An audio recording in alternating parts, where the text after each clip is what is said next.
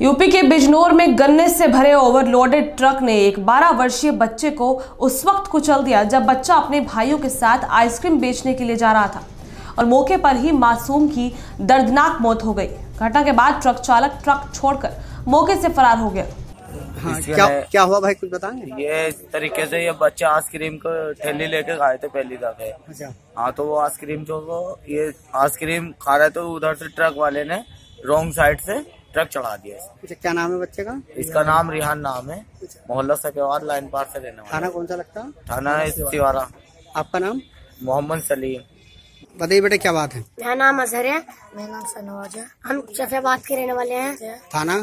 थाना थाना सारा बिजनौर। हाँ, बताइए क्या मामला बेटा बताएँगे कुछ? हम मेरी जी स्कूल से मेरी जी स्कूल के पीछे से आ रहे थे। तो तेल हिस्सा मोली ना। हम तो आगे आ गए तो ट्रक वाली गाड़ी पिछा रही थी।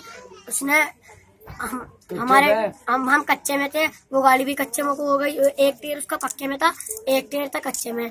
तो तो वो तो हम तो कूद गए ठेले पे से कूद गए और जो उसका हाथ हैंडल पे रखा रह गया।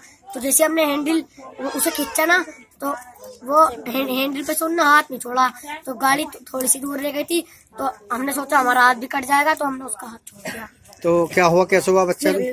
उसके पेट में कील घुस गई तो पेट फट गया। पहले उसका, फिर गाड़ी उसको ऊपर चढ़ गई।